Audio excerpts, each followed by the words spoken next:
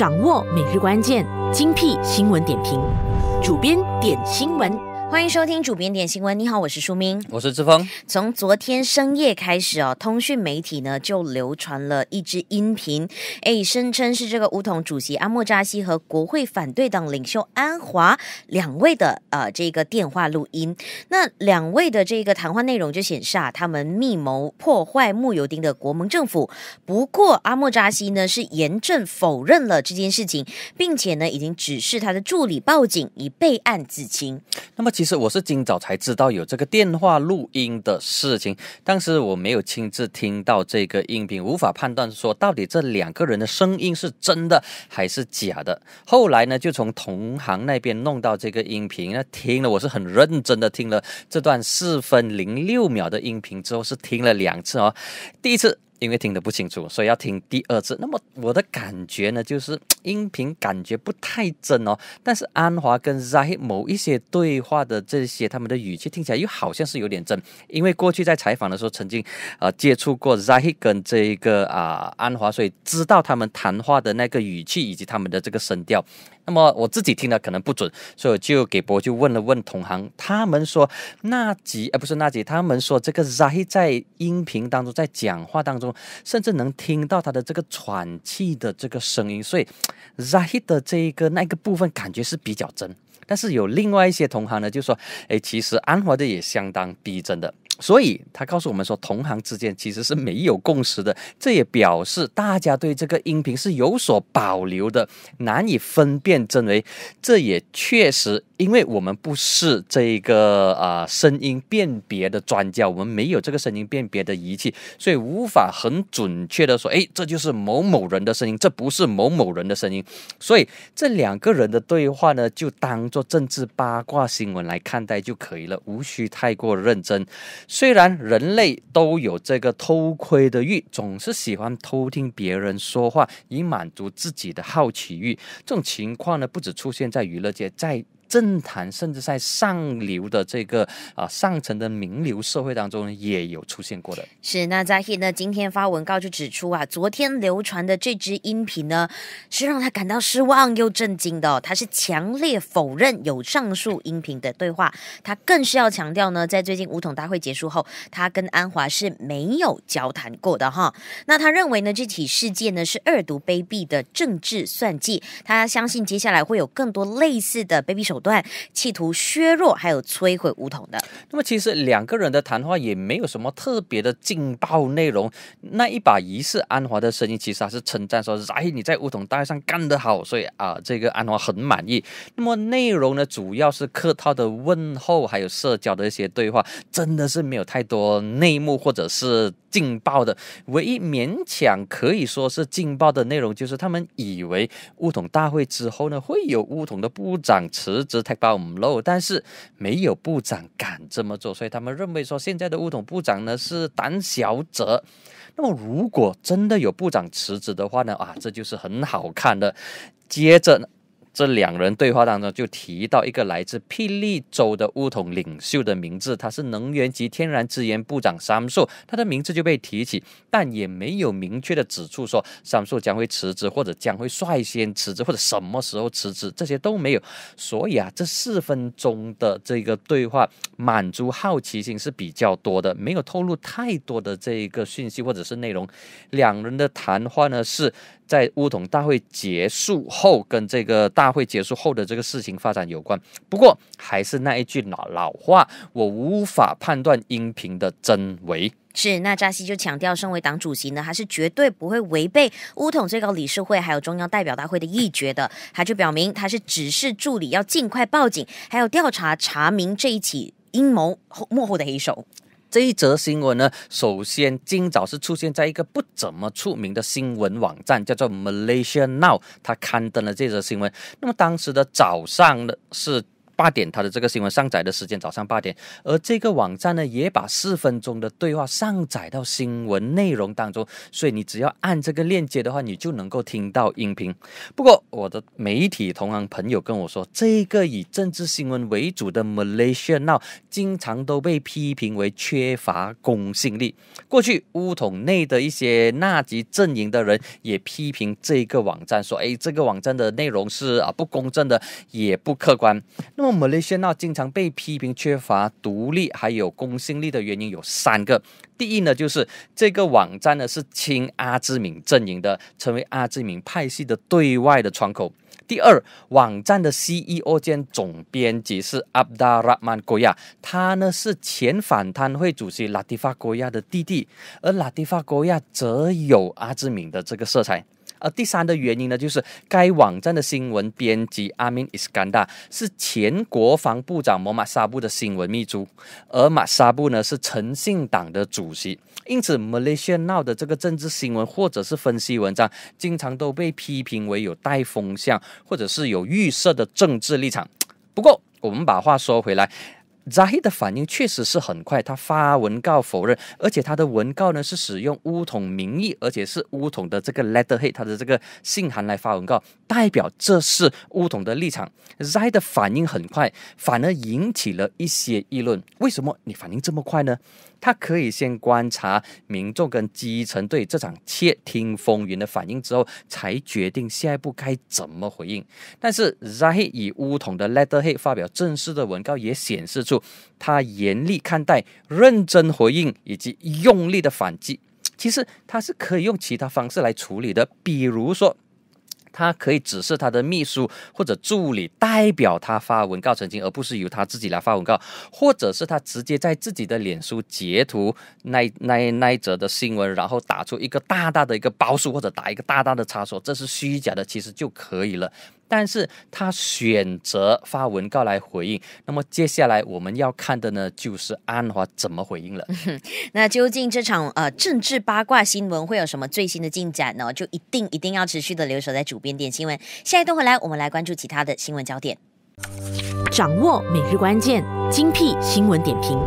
主编点新闻。昨天晚上呢，前首相纳吉在脸书贴文证实自己收到内陆税收局所发出的破产通知书，并且呢附上了有关的一个证明，呃，然后表示自己没有车大炮啊。那内陆税收局呢是针对纳吉拖欠二零一一年到二零一七年多达十六亿九千万令吉的税款所采取的行动。那纳吉又表示，内陆税收局代表是在昨天下午的时候前往他前往他的私邸，然后将有关。的这个破产通知书呢，交到他的手上。这个破产通知书来的有点突然，所以纳吉就认为说，内陆税收局在这个时候发出这个通知书，与三个课题有关。第一呢，就是北大 U U M 的民调显示，超过一半的受访者认同他是来届就是第十五届全国大选的首相人选，而现任的首相穆宇丁只排在第四名。而第二个课题呢，就是乌统大会议决来届大选不再跟土团党合作。那么第三呢，就是总检察署。在资产充公案件中失利，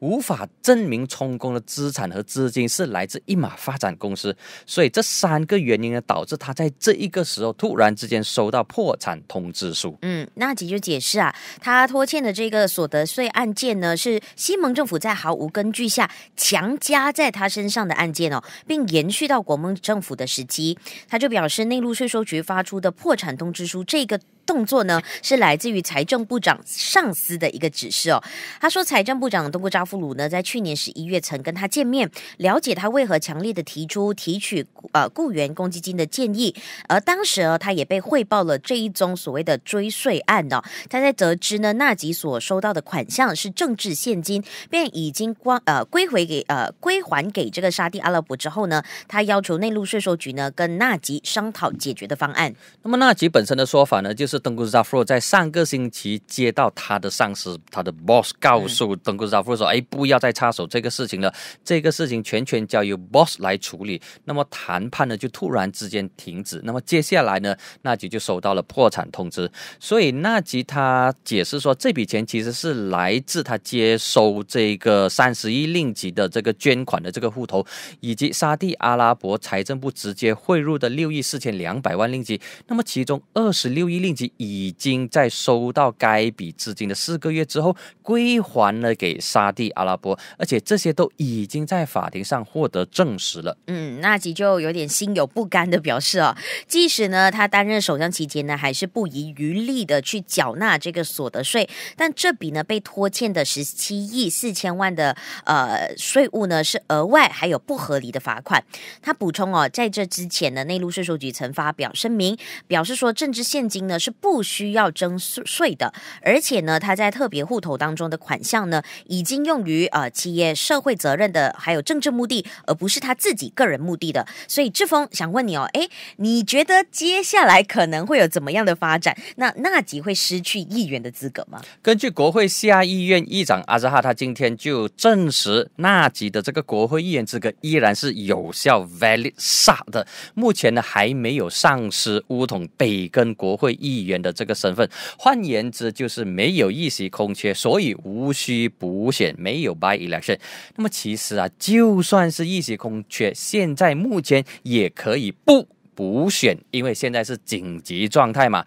其实我们已经有两个国会议席在去年炫空了，就是沙巴的巴杜沙比，还有霹雳州的 Grip，都是因为原任的议员病逝，而且该区进入紧急状态，所以是没有补选的。那么这两个地方的紧急状态比今年一月全国的紧急状态还要早，所以没有补选。那么还有另外一点呢，就是就算是紧急状态在今年八月解除之后，一旦过了今年五月出现议席悬空的话，其实选委会是可以不进行补选的，因为距离国会任期届满不到两年，在这一种情况之下，选委会可以自己斟酌到底要不要举行补选。过去曾经发生过这种情况，就是因为距离议会届满不到两年，所以没有补选。因此，如果过了今年五月，意味着距离来届大选或者是距离本届的这一个国会任期届届满不到两年，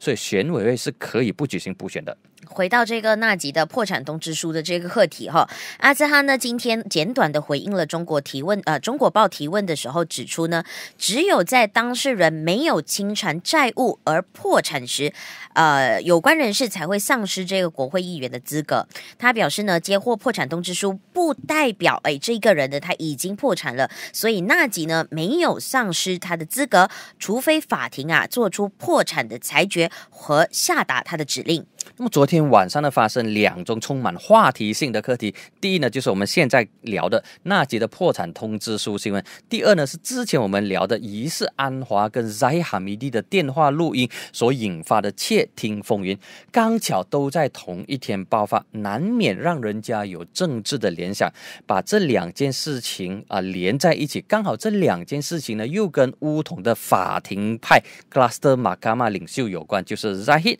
还有纳。相信接下来可能会有更多类似不同情况、不同事件内幕的这个踢爆，以及针对个别人士的这个行动。大马的政治啊，将会是越来越精彩，也会越来越难猜测。下一段回来，让我们来关注其他的新闻焦点，请你持续的留守在 CD Plus，掌握每日关键，精辟新闻点评，主编点新闻。国际特赦组织马来西亚分会表示，在二零二零年，大马政府对疫情的应对，暴露了大马存在的不平等现象。那国际特赦组织马来西亚分会执行董事卡特琳娜在啊表示，在肺炎期间呢，大马政府对于难民、寻求庇护者和外劳采取严厉的举措，在仇外心理加剧的情况下，对外来者实施逮捕、拘留，还有突击检查。他指出，由于结构性的歧视，导致穷人、移民、难难民、寻求庇护者，还有原住民土著在内的人口被边缘化。他们是遭受打击最严重的一个群体，他们面临着食物短缺、大规模的突袭和逮捕，同时也面对了失业、职场还有拘留中心爆发疫情以及仇外心理上升所带来的挑战。国际特色组织是今天发布二零二零二零二一年全球各国人权报告，而这份报告呢，涵盖全球一百四十九个国家，并且分析了这一些国家去年的全球人权趋势。那在马来西亚人权问题上面呢，组织也呃这份报告也指出啊，人权改革在新届的政府领导下呢是陷入僵局的，包括呢设立了这个独立警察投诉和行为不检委员会法案，还有废除强制死刑的努力呢都回到原点哦。他就表示，尽管政府投票赞成在全球范围内暂停执行死刑，但在国内废除死刑呢还是没有得到任何的进展的。那组织也指出呢，政警方滥用职权的问题是依然。存在的，包括在拘留期间死亡的事件呢，还是没有得到透明解决。那政府撤回了这个 IPCMC 的法案，用一个弱化的版本去取代。那这个新的版本呢，被广泛批评为没有效力的法案。这份报告也指出说，性少数的 LGBTI 群体持续的面对着歧视的情况。全国各地的原住民土著也因为开发和砍伐的活动，导致他们面对失去土地的危威胁。那么，对于这份报告所反映出的大马问题，卡特里娜他就表示说，政府不仅他必须要快速的进行人权改革，还必须要解决导致弱势群体不平等、受到歧视的这种压迫政策。他就表示，政府提出的口号是保护自己、保护大家，已经指出了生活本质和我们权利的关联性哦。所以他们是强烈的督促政府呢，从疫情恢复过来的时候，采取与人权权为中心的方针，包括尊啊尊重尊重这个言论自由，确保集会的自由权，废除死刑，预防在拘留、死亡和酷刑的问题，保护难民的权利，承认土著的权利，当然还有尊重宗教自由。关于人权，过去一年。在新冠肺炎疫情之下，弱势和边缘化群体的人权都面对着很大的挑战。那么，我选择这则新闻，除了因为我关心关注人权议题之外，还有另外一个原因，就就是今天四月七日是世界卫生日。